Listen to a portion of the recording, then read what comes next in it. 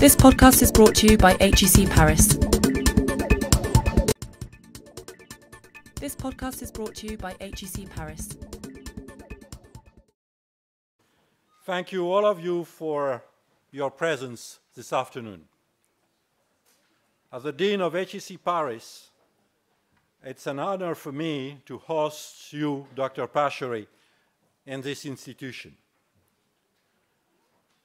We all know that you're the chair of the Nobel Peace Prize winning Intergovernmental Panel on Climate Change, the famous IPCC.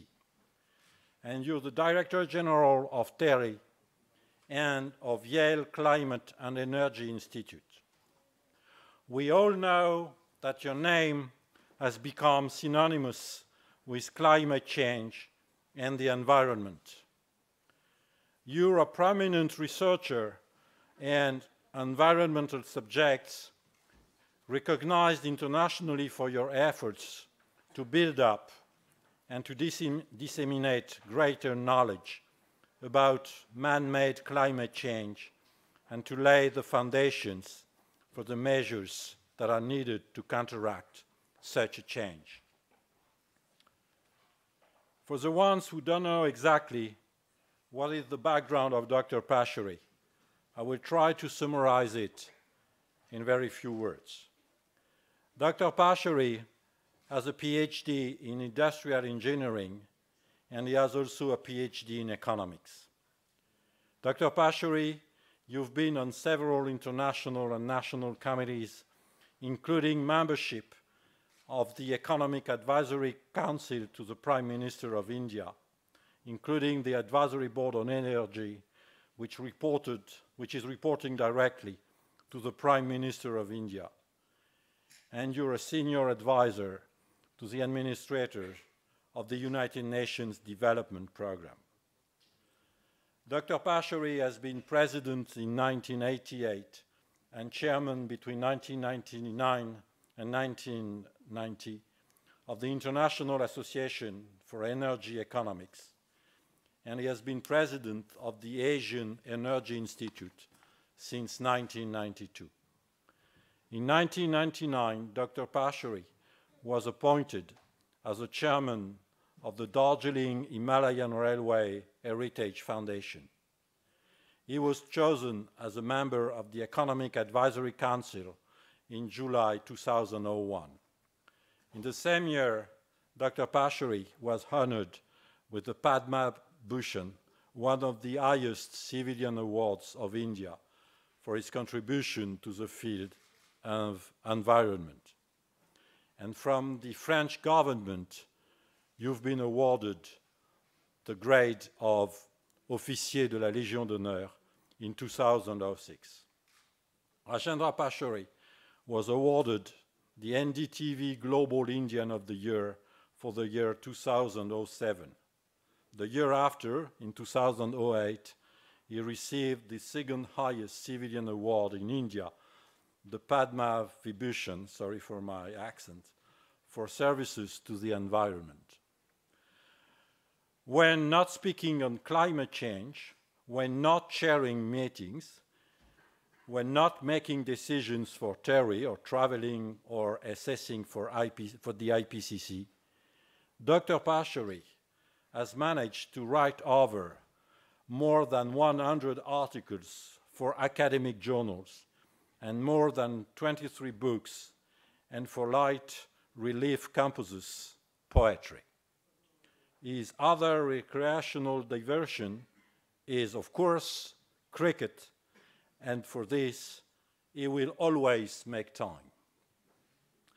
In 2007, the Norwegian Nobel Committee decided that the Nobel Peace Prize was to be shared in two equal parts between the IPCC and Al Gore for their efforts to build up and disseminate greater knowledge about man-made climate change and to lay the foundations for the measures that are needed to counteract such change.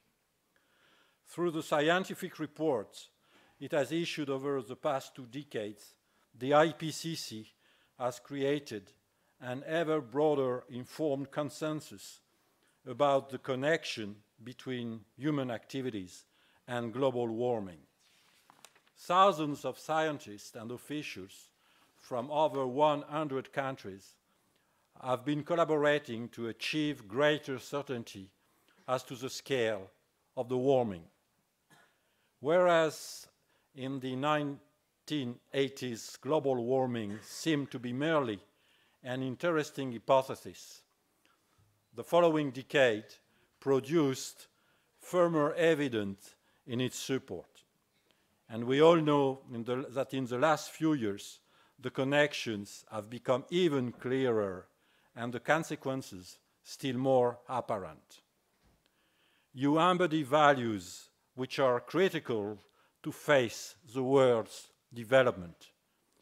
Your international scope, your spirit of innovation, your leadership and entrepreneurship are very important values that I'm sure we share here at HEC Paris. Despite the recent financial crisis and fears of a, of a durable global recession, the international business community continues to drive the growth of sustainability practices across all industry sectors and business levels. Within the past decade, corporate social responsibility has begun to play an increasingly important role in determining a company's success, demonstrating the push from consumers to recognize the positive influence that can result from these initiatives of individual businesses. In recent years, this institution, HEC Paris, has embraced sustainability alongside corporate social responsibility and business ethics as an integral element of its curricula. This interest is understandable as society now holds companies responsible for the social and environmental impact of their activities. If you allow me, I would like to highlight the various ways in which HEC Paris is adopting and importing the principles of corporate social responsibility. HEC Paris has invested dedicated faculty resources to address issues related to sustainable development. For instance, we've launched a specialized master's program on sustainability since six years. We've laid the Deloitte Chair on Energy Management since 2006. We have established a new chair on social business in 2008. And we have created the Mission and Action Project inside the MBA program dedicated to the exploration and encouragement of alternative entrepreneurship, financed by the HEC Foundation. We have welcomed the annual Social Business Conference we are participating in the Goldman Sachs 10,000 Women Initiative in partnership with Tsinghua in Beijing. And we have developed tight link with Africa, and we're looking after, of course, the environmental impact of the campus. A conference like your conference, like the conference you're going to give in a few minutes, is very, very important for a business school like HEC Paris. The next generation of business leaders will have to strive to understand and leverage this aspect of corporate development to reap with, of course, some success, the rewards, and overcome the new challenges it will bring. I'm sure this conference will bring to the participants a sense of hope and ambition motivated to enhance their business skills and practices with the various ideas and solutions proposed. Once again, my dear colleague, Dr. Pachauri, I'm very, very grateful and I would say very proud to welcome you here this afternoon at HEC Paris. Thank you very much.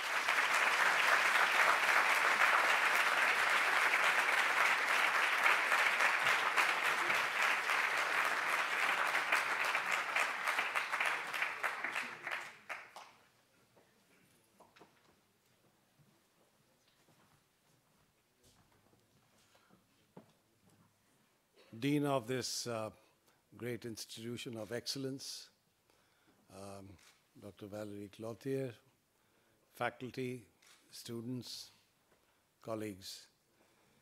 It's a great privilege for me to be present in this remarkable institution, um, the reputation of which is very well known. And I think each one of you, I'm sure, is extremely proud to be part of this remarkable institution. So I feel very touched. I feel very honored at having been given this opportunity. And uh, Dean, thank you for your very generous remarks, which I don't deserve. But I'm delighted to learn about the values that you are supporting in this institution.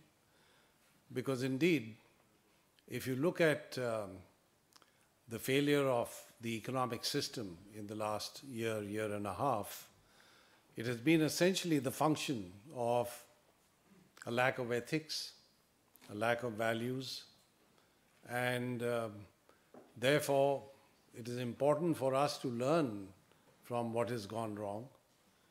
Uh, and I'm very happy to see that this institution has taken in hand teaching of ethics, teaching of corporate social responsibility, uh, because indeed in that lies the welfare of society at large, and therefore the welfare of business organizations as well.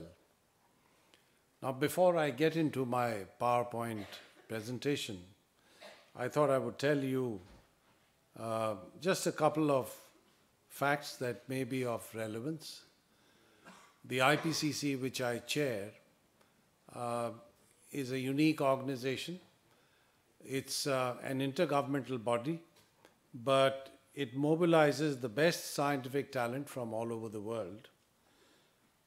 Uh, however, it is not purely a scientific undertaking because since it's an intergovernmental body, everything that we produce has to be at the dictates of governments, all the governments of the world.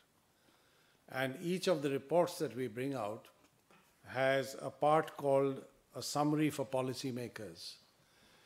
And that summary has to be approved word by word by all the governments of the world. So you can imagine that's not an easy task because when you're sitting with a group of 400 or 500 government delegates, drawn from different uh, regions, different countries. Uh, they also bring very different perspectives and uh, very different interests. So when they approve of every single word in that summary for policymakers, um, there are huge complexities. Um, and you have very strong arguments, very strong differences. But as a practice, the IPCC has been able to take decisions and reach closure and conclusion on everything that we do by consensus. So you can imagine it's, um, it's a unique undertaking where every word is agreed to by all the governments of the world. Now, that can be a very painful process, and I can tell you when the last synthesis report of the fourth assessment report was approved in, um, in Valencia, Spain, I had to go through 40 hours without any sleep because um, this was on a Thursday.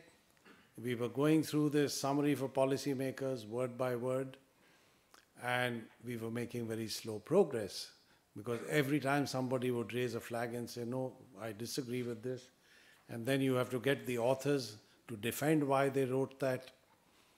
So by the end of Thursday evening, I said that look, the only way we can get this done is if we continue working through the night.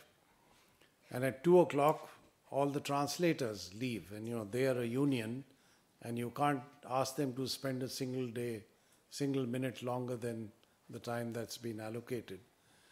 So then I have to appeal to everybody because the IPCC conducts all its sessions uh, with simultaneous translation in the six UN languages. So when the translators left, I had to appeal to all of them that we'll have to continue with English, and they agreed. Anyway, to cut a long story short, we managed to get this whole report approved by 7:30 in the morning. Then I had to come back and start the session again around 9:30. So I went to my hotel and lay down for a short while, took a shower, and came right back. And now we were approving the longer report on which this summary for policymakers is based. And the longer report is supposed to be accepted paragraph by paragraph. Now, that's a very difficult distinction to really accept because if you're dealing with a paragraph, you could very well object to a single word in that paragraph. Uh, however, the spirit of approval paragraph by paragraph is very different from the spirit of approving things word by word. But I found before the end of the day, again, we were making very slow progress. And at that stage, I had to tell these 450 odd delegates, I said, look, I've gone without sleep for 40 hours. I can assure you I can go without sleep for another 40 hours. But uh, on Saturday morning, the Secretary General of the UN is coming to release this report officially. What are we going to tell him? That, that we were not able to arrive at agreement on the report? Um, so, and I said this with an obvious show of temper. And then I said, let's take a 15 minute break which we did. And at that stage, there were a bunch of wolves who were sitting over there. When they went out, and 15 minutes when they came back, they were a bunch of lamb. so they had been transformed, and by 10:30 that night, we got agreement on, on the report as a whole. And I'm just giving you this anecdote to tell you that the IPCC is perhaps the only body that's able to provide the best of science and yet get the buy in, get the sense of ownership from all the governments of the world. And that's why I think it has been able to make an impact on decision making. And I think there are several parts of human endeavor where perhaps we could benefit from such a collaboration. the, the other point I'd like to make before I start my PowerPoint presentation is, as the Dean very rightly mentioned, business is now becoming more and more accountable to the public. And therefore, what happens in public life, what happens in society at large, is of vital importance to business itself. As a friend of mine rightly says, business cannot succeed in a society that fails. And therefore, I think all of us have a stake in seeing that society succeeds. If society fails, then any business that's operating in that society can possibly not succeed. Therefore, why are we talking about climate change? Essentially, because climate change is going to impact on everything that business is involved in. And therefore, it's critically important to understand the elements of climate change where decision making and human actions are required to correct the problem. I also want to emphasize that the problem of climate change is only a small part of a much larger problem, which is essentially the failure of sustainable development. If the world was developing on a sustainable basis, then we wouldn't have this problem of climate change. Because what has really happened is that in the pursuit of more and more production, more and more consumption, without regard to what's happening to the environment, we have filled this earth with a large quantity of gases that are clearly a deviation from the stable composition of the atmosphere that we have had for thousands of years. Okay, so I'll now start my uh, presentation, but um, let me begin by telling you about the scale and size of the IPCC involvement of authors from all over the world, and these are basically the 450 lead authors are the people who actually write the report. Over and above that, we in the last fourth assessment report had 800 contributing authors. And these are people who are specialists in some field or the other, and they provide contributions, written contributions, to these authors on the basis of which the knowledge that is given to them is made use of. And then at every stage of our drafting, we have expert reviewers who peer review every single draft. And they come up with a set of comments, and these are thousands of comments, which incidentally are posted on the website. and the authors have to either accept or reject uh, the comments that they receive. But they have to record what they did with it. If they accept it, they say the comment is accepted. If it is not accepted, then you have to give reasons why it is not accepted. So basically, the IPCC is a very transparent, very objective body, and the so called uh, non believers or deniers of climate change who call the IPCC some kind of grand conspiracy uh, must concede that if the IPCC is able to fool the whole world, then clearly they deserve uh, to, to succeed in this conspiracy. Um, now, one important conclusion that we came up with is that the warming of the climate system is unequivocal. In other words, that there should be no scientific doubt on the fact that the climate system is warming. We also have recorded evidence now, as you can see from these graphs. If you look at global average temperature, going back to the beginning of industrialization, that's the middle of the 19th century, you can see there are fluctuations in temperature. And that's because nature itself brings about variations in the weather, variations in the climate. And therefore, during most of the 19th and the early part of the 20th century, these fluctuations were predominant. But if you look at the last 50 years, the trend is very clear. It's a trend where you see an increase in temperature.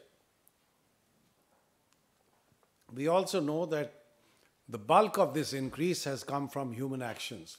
Because quite apart from natural changes, we have now added this dimension of the human impacts of climate change because we are emitting so many of these different gases in such large quantities that essentially, if I can put it in very simple terms, it forms a kind of a blanket over the Earth's atmosphere.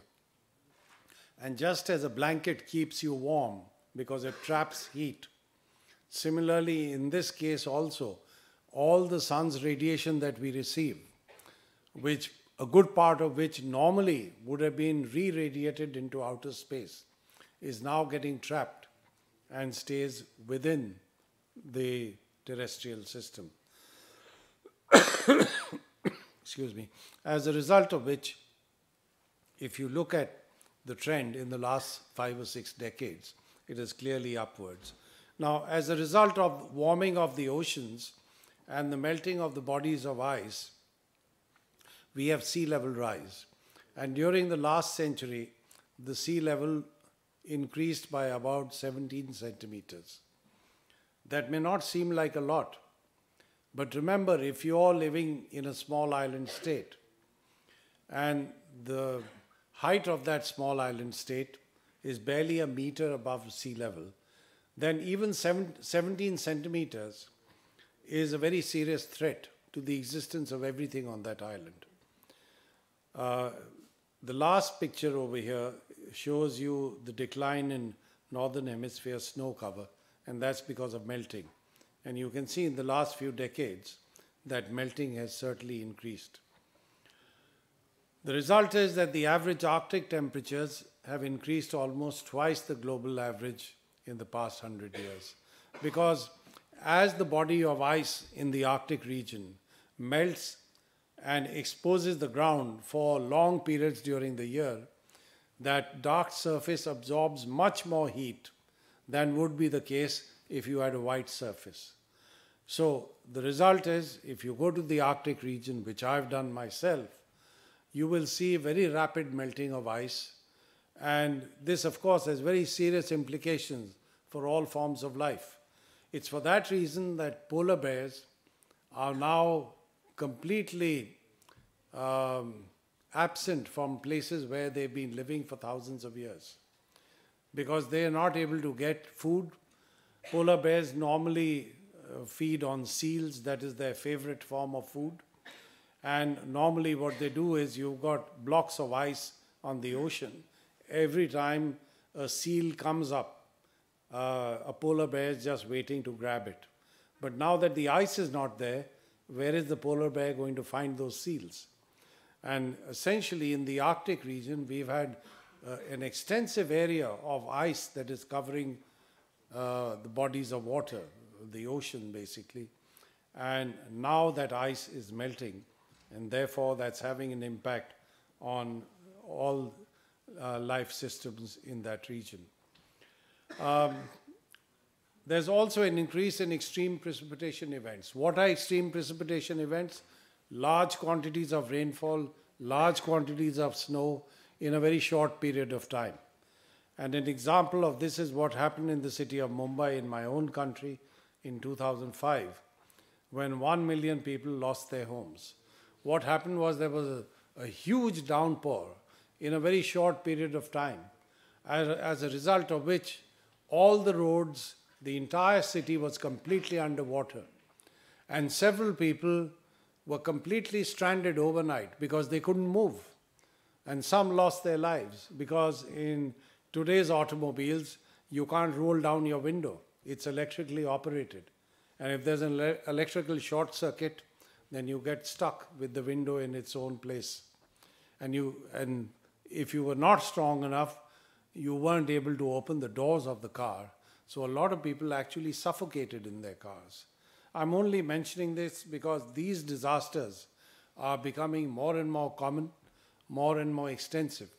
And as climate change continues, they're going to get certainly more severe.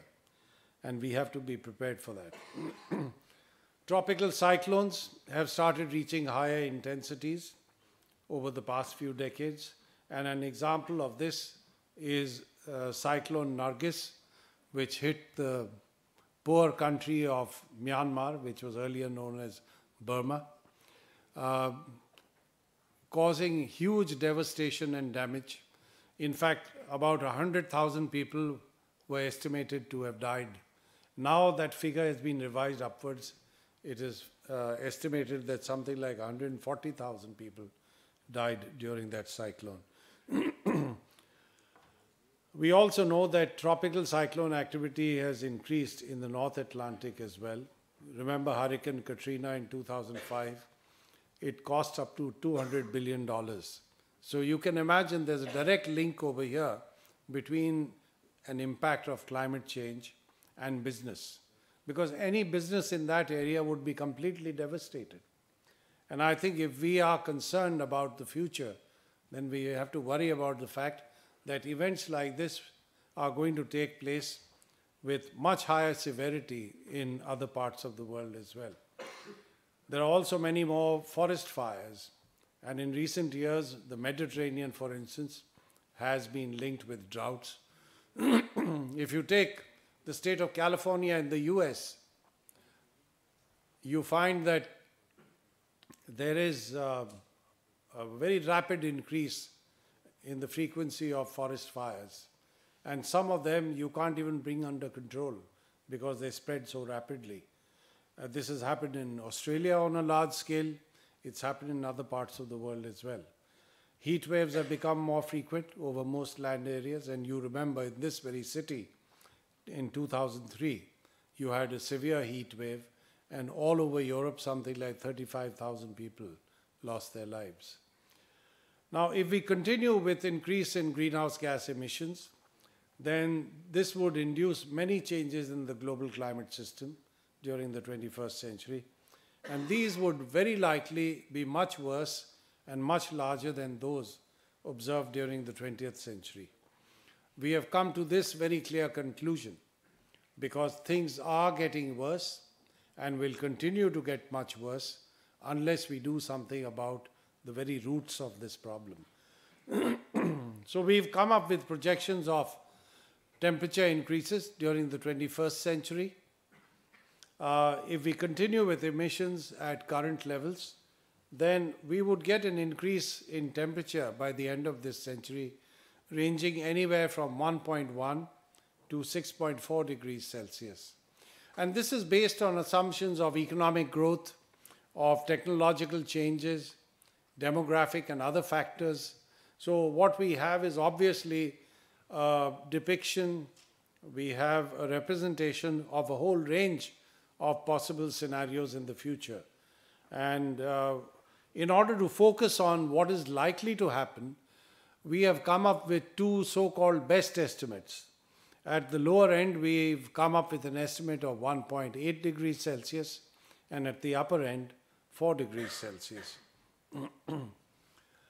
what are the systems and sectors that would be affected by climate change? Water resources. And this is going to happen in every part of the globe. Agriculture in low latitudes is already being affected, not only because of water availability, but also because of changes in temperature. Low-lying coastal areas are going to be subjected to storm surges and flooding because of sea level rise. And therefore, as a result, there would also be much bigger damage on account of extreme weather events. Whether it's cyclones, whether it's storm surges, all of these are going to be much worse simply because the sea level is much higher now. Human health is also going to be affected because of floods, droughts, heat waves.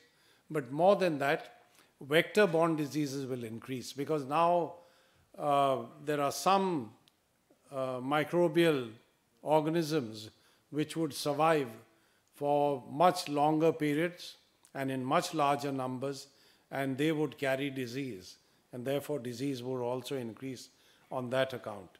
there are some ecosystems which are particularly vulnerable, like the tundra, boreal forests, mountain regions, Mediterranean type ecosystems, tropical rainforests, mangroves and salt marshes, coral reefs, and sea, sea, sea ice biome. So essentially, a number of living species across the planet would be affected as a result of climate change. And similarly, one can classify some regions which are going to be particularly vulnerable. The Arctic, as I've already mentioned, Africa, because of low adaptive capacity and projected climate change impacts. And I'll say a little more on that very soon. Small islands, which are very vulnerable to sea level rise. You take an, a country like the Maldive Islands, most of them, most of these islands are barely a meter or maximum of two meters above sea level. And if you have sea level rise of even half a meter, that's pretty dangerous for some of these places. This is true of a number of uh, islands in the South Pacific. Last year, on World Environment Day, which is on the 5th of June, uh, the um, the president of Kiribati, now that for some reason it's uh, spelled Kiribati, K-I-R-I-B-A-T-I, and that's not French. Otherwise, I can understand that the spelling would be very different from the pronunciation. But uh, the president of Kiribati and I, and I might tell you something about English also, it's not just French. On one occasion, George Bernard Shaw said that uh, I can spell anything I want, any way I want in the English language. So uh, somebody asked him, um, can you give us an example? He says, Yes, I can spell fish as G H O T I. So they said, How can you explain that? He says, Well, GH would be like in rough, that you have the sound of F, O as in women, so that's like I, and TI as in nation, so fish. So he came up with that explanation. Anyway, the president of Kiribati, spelled Kiribati, uh, and I were together in New Zealand on World Environment Day. And it was sad to see the president of a nation telling every audience that we jointly addressed that before the end of the century, all the people in his country will have to vacate that island. And they've already started doing that. Now, some of this will not have to be forced vacation. A lot of people have already started moving. You take the case of the Maldive Islands. Their best talent is being lost. They are moving overseas simply because they realize that their children and their grandchildren will probably not be able to live on those islands. So, this, I think, is the ultimate tragedy. If we've caused a problem that is really causing this degree of, of alienation from the land where people were born, where their fathers, their grandfathers are buried, then clearly this is a very deep crisis for human society. Asian and African megadeltas are particularly vulnerable, and this includes cities like Shanghai, uh, it includes uh, Dhaka, Kolkata, because these are cities that are on the deltas of rivers with very high population, with a large amount of property, and therefore, as a result, every time there's coastal flooding, there would be a threat to a large number of lives, and of course, damage to a large amount of property. Glaciers are melting very rapidly. Take a look at this set of pictures. One was taken in 1996, the other was taken in 2009. Now, I come from a part of the world where the glaciers are the lifeblood of society. All the river systems in the northern part of the subcontinent originate in the glaciers over there. And with the melting of the glaciers, the streams of water flowing out of there are going to be progressively smaller. And therefore, the amount of water carried in the, in the rivers in the northern part of South Asia uh, would certainly decline. And that is going to affect, as we have estimated, the lives of 500 million people in South Asia and about 250 million people in China. The impacts on poor regions would be particularly severe. If you look at water stress by 2020, and that's just about 10 years away, in, uh, if you take the case of Africa, anywhere from 75 to 250 million people would be affected by water stress as a result of climate change. But what is even of greater concern is the fact that in certain African countries, you would have a decline of uh, crop yields by up to 50%. And remember, these are societies which are very poor to start with. They certainly will not have the resources to be able to import food to meet their very basic nutritional requirements. And it's also true that these are societies where you already have hunger, you already have malnutrition, you also have widespread disease in the form of HIV AIDS. So the adaptive capacity of a number of these countries that are going to be affected by the worst impacts of climate change is extremely low. And it is essential for the global community to come to their assistance. Because it's not the poor countries of the world that have caused this problem. The emissions of greenhouse gases have come from industrialization and from countries that have attained high levels of prosperity in the process. So I'm raising this as an ethical issue. It is vitally important that we consider ethics not merely in decision making in a business enterprise, but ethics across countries as well. Because if we submerge our conscience in looking at ethical issues across nations, then clearly we cannot possibly take decisions in our own areas of work that have an ethical basis. I mean, ethics does not have any fine line of division. Ethics and behavior apply as much to business decision making as to governmental decision making. there would also be consequences on global security because by the end of the century, we project there might be hundreds of millions of people who would have to leave their native land because of rising sea levels, extreme events, floods, and famines. And food security would be another factor that could result in chaos. And there's the possibility of uh, failed states as well, a large number of states that might actually fail. On the 22nd of September, the Secretary General of the UN had organized this major meeting on climate change where he got all the world leaders, including President Sarkozy of France. And I was privileged to speak after the Secretary General because he wanted me to explain to all the leaders over there the scientific realities of climate change. So I spoke after him. And after me was President Obama. And as I was going out of the stage, uh, he was getting ready to come in, so I greeted him. And I said, Mr. President, I need 10 minutes of your time. So he says, I also need 10 minutes of my time. So I said, Well, that's very good, then let's share it. Uh, uh, anyway, then he spoke, and uh, what was very heartening was the fact that all of the leaders who were there were clearly moved by the reality of the scientific basis of climate change. And I made it a point to mention that none of you, ladies and gentlemen, are going to escape the effects of failed states. I might tell you another little anecdote. Before the G8 summit in July, I tried very hard to get an appointment with Prime Minister Berlusconi in Italy because I thought I should get him interested in the reality of climate change. And since he was chairing the G8 meeting, I thought he should be sensitized to this. But anyway, I never got the meeting. I suppose his social calendar was very full. But, uh, but um, somebody asked me, What would you tell him?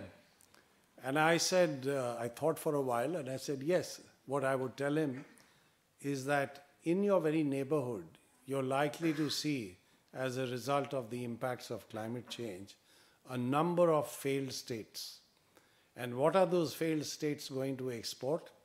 They will export terrorism, illegal arms, illegal drugs, and illegal immigrants. And where would they come? To the southern part of Italy. anyway, I never got a chance to tell him that. Maybe one day I will succeed when uh, his social calendar opens up.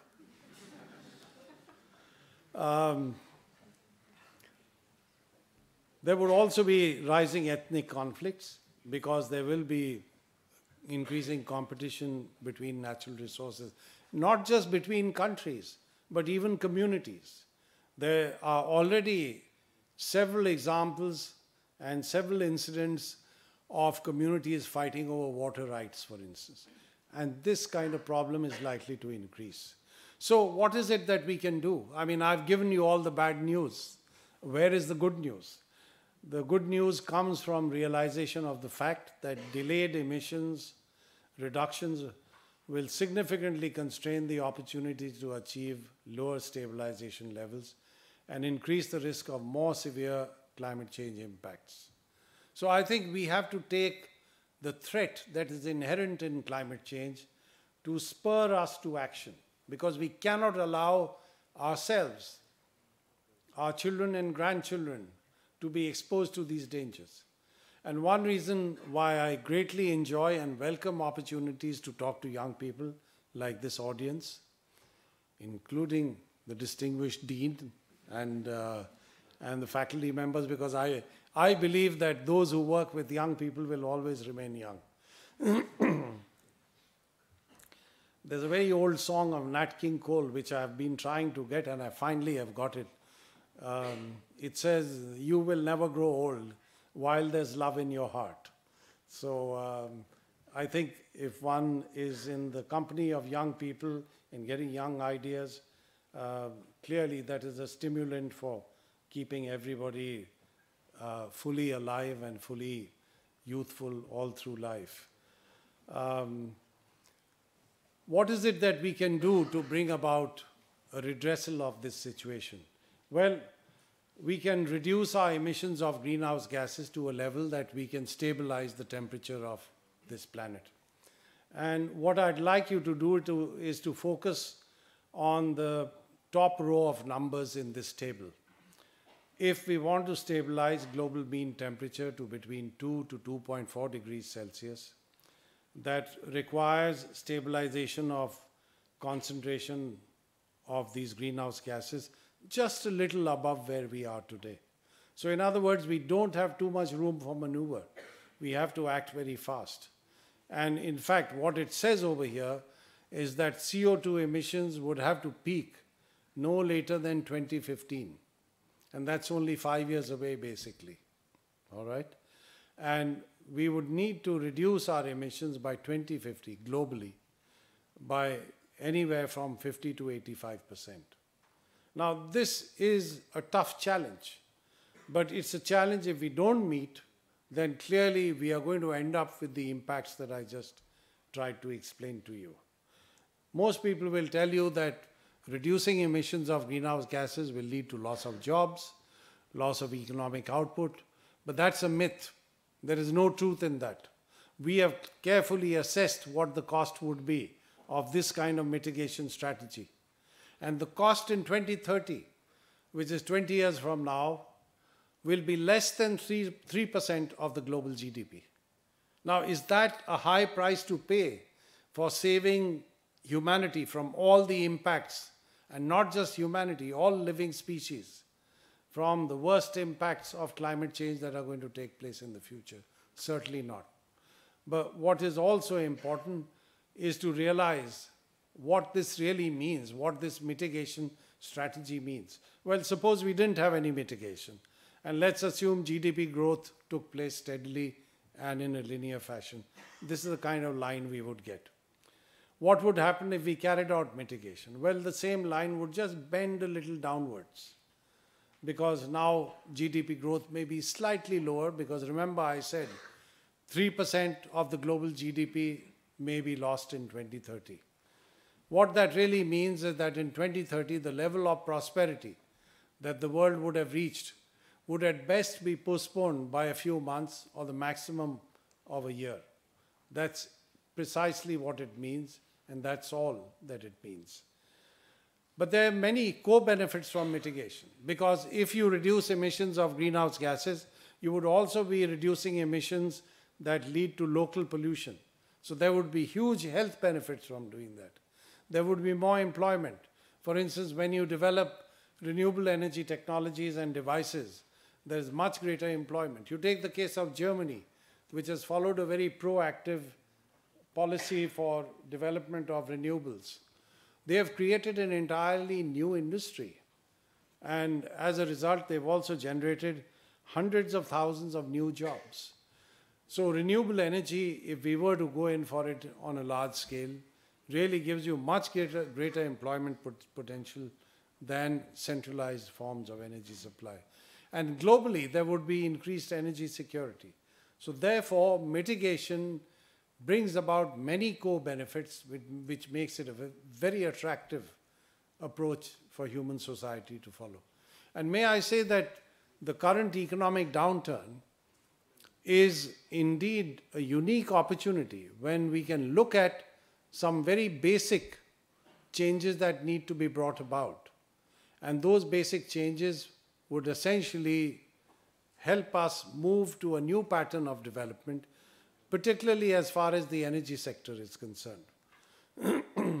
so we know that there's substantial potential for the mitigation of global greenhouse gas emissions over the coming decades and this can lead to reduction of emissions below current levels on a large scale.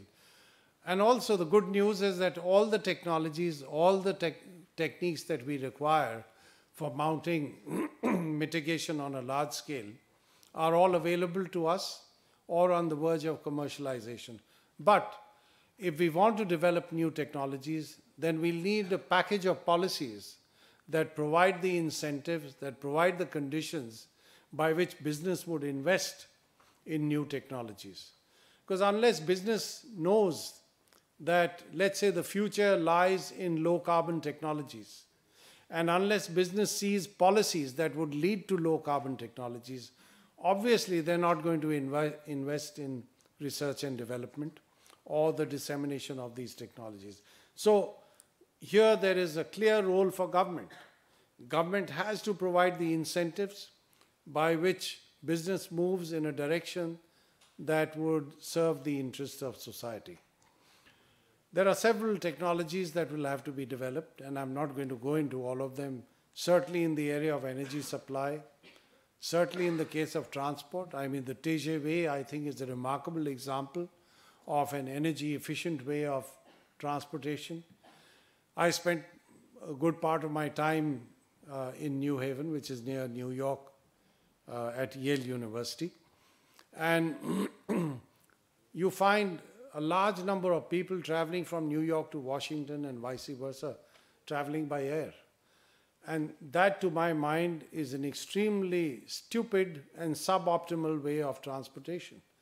If there was something like the TGV in North America, why would anybody fly between New York and Washington, D.C.? You would travel by train from city center to city center, perhaps in an hour and a half. But this is where, may I submit, that we need a major transformation in the transport sector throughout the world. And over a period of time, of course, the private vehicle is not going to vanish because that's so much a convenience, so much a part of everybody's dream that we will always use cars. But we must have public transport options. Otherwise, you would be using cars where no public transport is available. So, here I think we need a public private partnership by which we bring about a transformation in uh, the transport sector. Buildings are another area where we need major innovations. The building you see at the bottom uh, of this slide is something that my institute has created. We have a training complex which uses no electricity from the grid. How have we done that? Well, first we've designed the, the entire complex in such a way that the, the demand for energy is about one third that of a, a conventional building. And then all that demand is met through photovoltaics or a biomass based gasifier or a very important thing that we have come up with is something called earth air tunnels. Because four meters below the surface of the earth, the temperature is uniform throughout the year. And we've designed these tunnels through which we blow air, and the only energy required is that of a blower. And that air comes into the living spaces. In the winter, it gives you heating, and in the summer, it gives you cooling. Now, these are things that we must employ, and all of these actually save money over a period of time. this is a listing of technologies expected to be commercialized before 2030, and I won't go into these. But I think business decisions within a stable policy framework will certainly make sure that these technologies develop. And I think the future of the energy sector in particular, but several other activities, lies in the direction of low carbon technologies. This is something that I think those of you young ladies and gentlemen who are going into business must remember. And you have to focus, as I always say, not at the next quarter, but the next quarter century. That's where you're going to create winners as far as business is concerned. Because if you had a steady state condition, if everything was business as usual, then of course you don't have to worry. But if you're going to deal with major turning points and a major transition in society, then you better be looking far ahead and making investment decisions, R&D de decisions that focus far into the future. We need a number of instruments, policies and research, development and demonstration, of course. You need appropriate energy infrastructure investments. And we need regulations, whether it is the automobile efficiency regulations or appliance efficiency regulations or buildings which require regulations. We certainly need changes in lifestyles and consumption patterns. And people ask me what kinds of changes in lifestyles. And what I tell them often makes me very unpopular because I tell them eat less meat and eat less red meat. Some people will ask, where will I get my proteins from? And the answer that I got from a very uh, distinguished gentleman is what I'm going to tell you. Uh, there are two consultants who can tell you how to get proteins from plant food. And these consultants are called an elephant and a horse. They get all their proteins from plant material. So I think it's a fallacy to say that you can only get proteins from, uh, from meat and from nothing else. Of course, I get a lot of hate mail on this, and one person actually sent me an email saying that the trouble with you is you are undernourished. And, and, you, and, your, and your brain is not getting enough nourishment. That's why you're advocating uh, eating less meat. But I'm happy to say that uh, in the city of Ghent, which I believe is pronounced as Gand, uh, in Belgium, I addressed an audience uh, a little over a year ago, and there were about six or seven hundred people over there. And that started a movement, as a result of which now that city has declared one day a week as a meat free day. Sir Paul McCartney of the Beatles uh, is a confirmed vegetarian, has been so for the last 30 years. He and I are actually teaming up. He's become a good friend of mine. Uh, he and I are teaming up on the 3rd of December for an event in Brussels to try and propagate the same thing one day a week without meat. And he and I became friends because Yale University gave both of us uh, honorary doctorates. And I can tell you uh, that's a day when you feel you should feel very proud of your your achievement. Um, getting an honorary doctorate from Yale is, is something that you know one should feel proud about.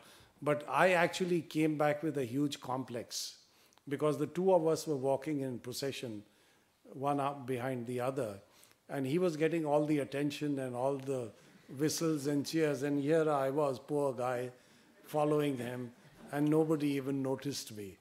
So it gave me a complex, but you know, it's a complex for a good reason.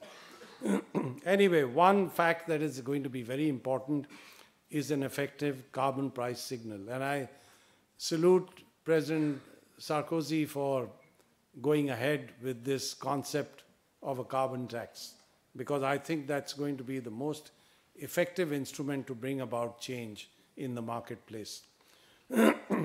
Let me go through the rest quickly. Um, uh, greenhouse gas investment decisions would certainly be driven by consumer preferences, costs, competitiveness, and government regulation. So you really need a coalition of all the stakeholders to bring about change.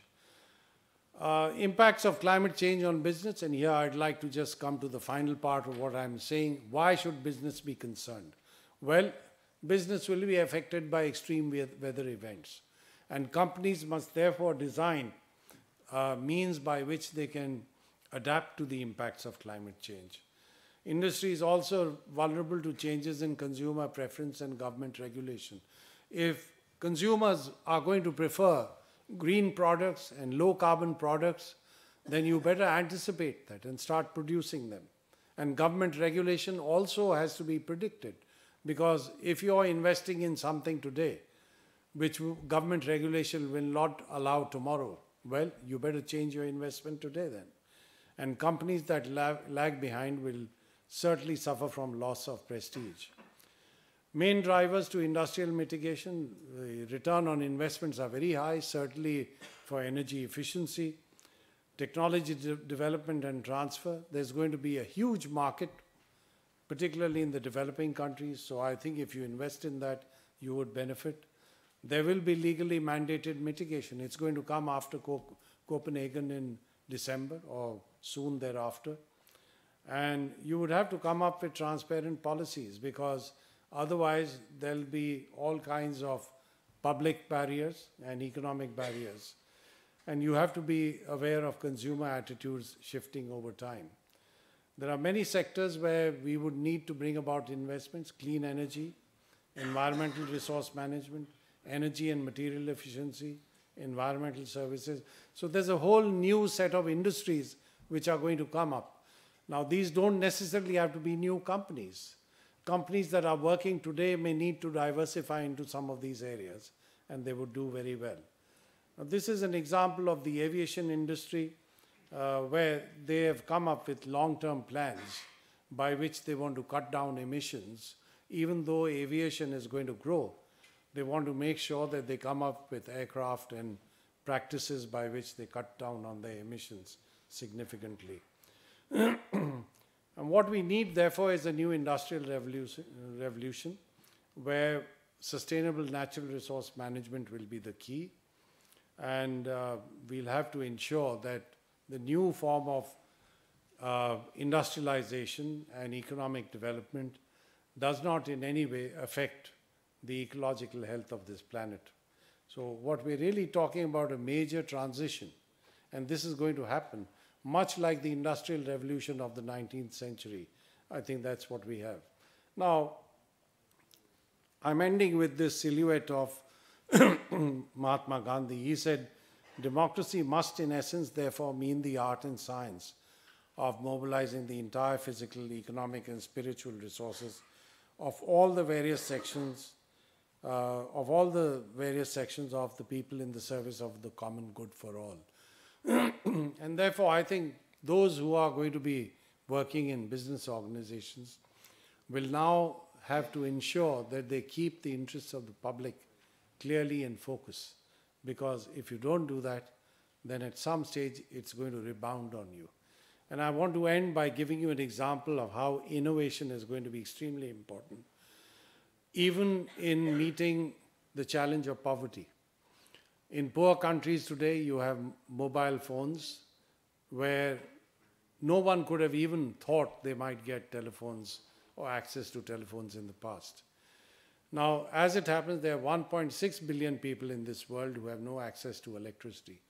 So you can imagine when the sun goes down, they use candles, they use uh, kerosene lamps, and very feeble and polluting forms of uh, lighting. But through the innovation that we have carried out, my institute has done this, we are now promoting solar lanterns, which have really opened up a new opportunity. And I want to show you a very brief video on that, just to tell you that even in the poorest regions of the world, technology can make a difference. And you can create business models by which you benefit in business and society benefits by bringing about a complete change in their living standards. So could we have the video, please? And if possible, we can switch off the lights.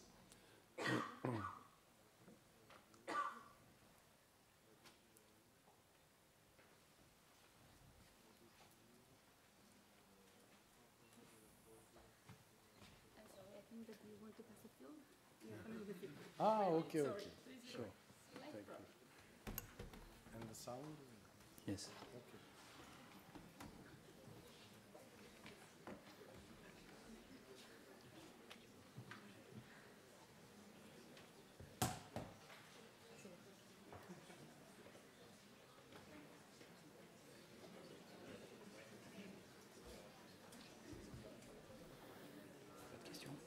Pas de questions Il n'y a pas de questions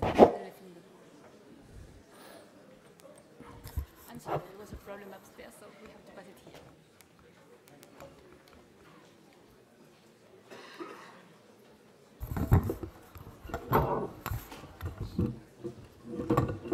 You see, this is a good example of innovation. When you run into a problem, all you need is some ingenious method by which you can make things work. There's something to learn from this.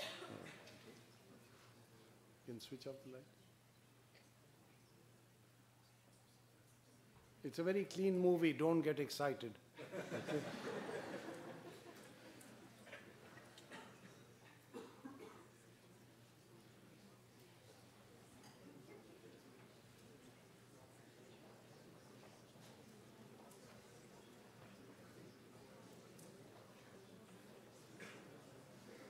Sound.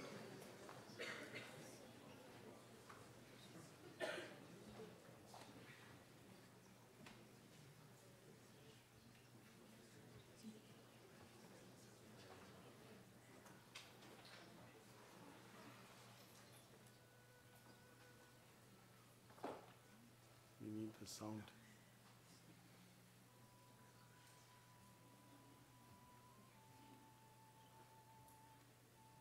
I'm sorry, the sound is not working.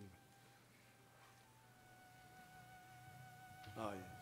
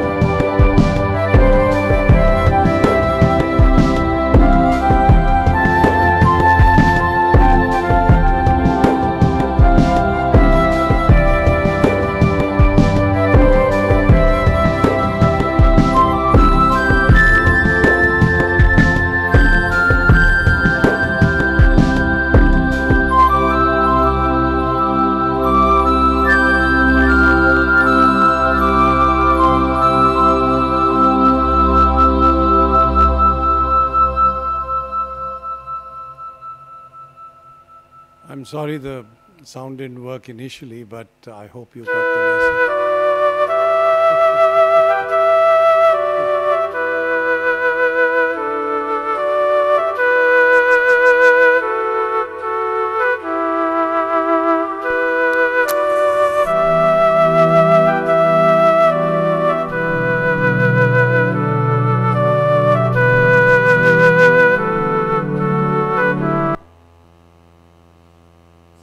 Okay, thank you very much. Thank you.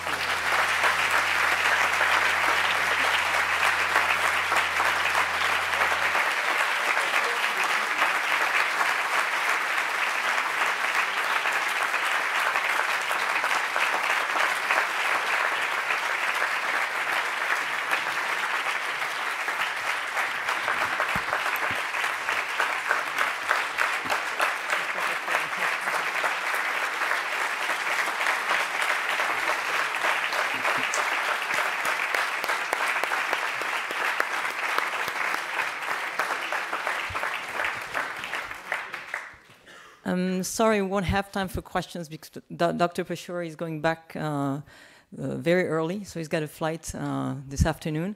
I would like to welcome um, Véronique Malray, Dean of Faculty, uh, for the final ceremony of Professor honoris causa. Dear Professor Pachauri, first of all, I would like to thank you for accepting the invitation Valerie has kindly transmitted you on behalf of HEC. Thank you also for sharing with us, professors, students, members of HEC staff, the results of the research work you have been working on over the last years. It's a great opportunity for us.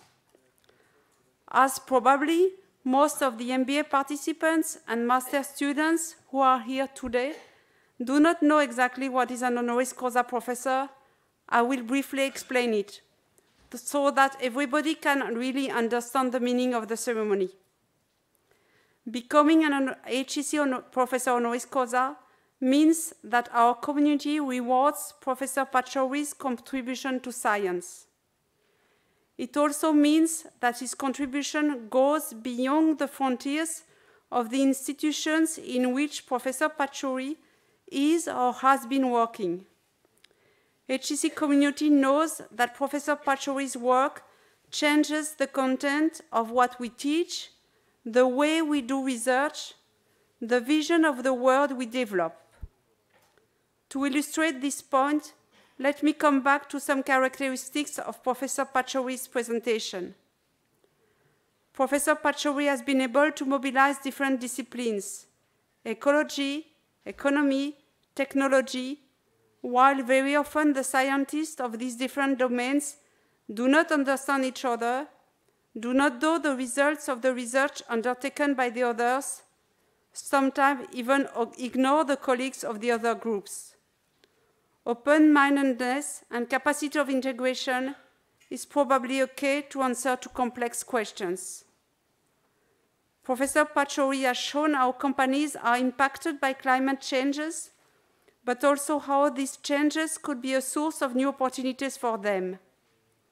By building bridges between ecology and the business world, by putting in equations not only economic realities but also environmental realities, he made our responsibilities clearer and the consequences of our decisions more readable. Transforming knowledge into action is the core mission of a professor, and Professor Pachauri demonstrated that he is an eminent professor. Finally, Professor Pachauri, I thank you for having shown to our students that it's possible to combine the rigor of scientific discourse with personal conviction, that change can be an opportunity, and that each of us is an architect of tomorrow's world. I have therefore the honor to name you HEC Professor honoris causa, and I'm happy to welcome you in our academic community.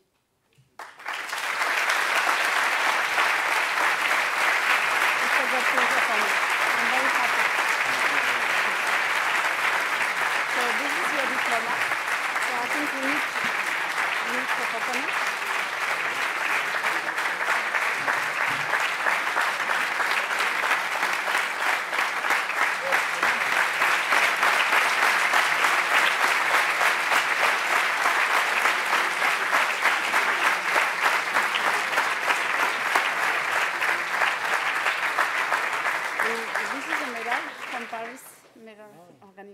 With the name of HEC and your name on it as a souvenir Thank this you day. very much. That's very kind of you. Um, I'm very touched. Thank you very much. After the academic dimension, uh, just a more material dimension.